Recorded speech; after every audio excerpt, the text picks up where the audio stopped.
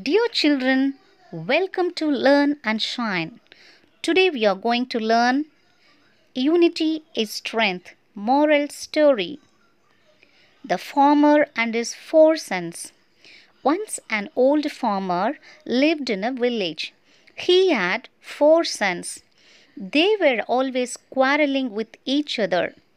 The farmer tried hard to bring unity among them, but they would never listen to his advice. He was very worried about their future. One day, the old farmer fell sick and decided he should bring unity among his sons. He called his sons and asked them to bring few sticks. They brought the sticks. The farmer asked the eldest son to tie them in a bundle.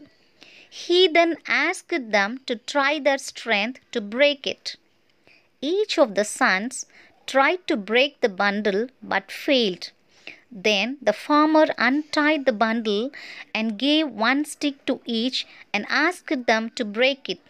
Each of them was able to do it easily. The farmer said, Now you understand. If you are united, nobody can get better of you. But you keep quarreling, you will be broken by anyone. Moral Unity is strength. Thanks for watching.